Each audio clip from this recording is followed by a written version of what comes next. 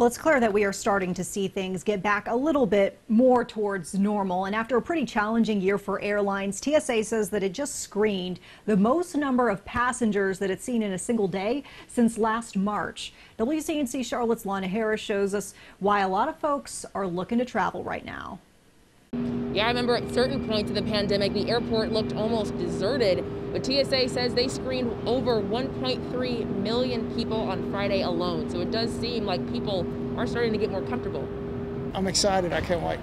it's been a while since Garrick Lane has been on a plane. I have not traveled at all in over a year. And he's not the only one. According to the TSA, 2020 air travel was down over 60% from the previous year. But there are new signs of life.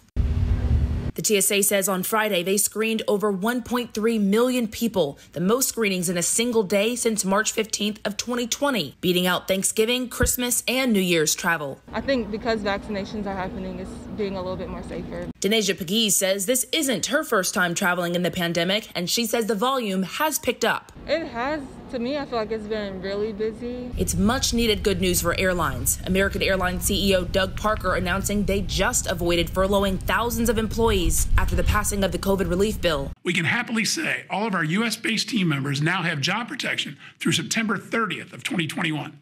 There aren't going to be any furloughs at American Airlines in April, and with vaccinations on the rise, hopefully never again. Lane says he's happy to see things moving back to normal. I think it's great. We got it. Got, we got to live our lives, man. Remember, masks are still required in airports and on the plane. And the CDC says if you don't go get tested after your trip, you should still self quarantine for 10 days. Here at the airport, I'm Lana Harris, WCNC Charlotte.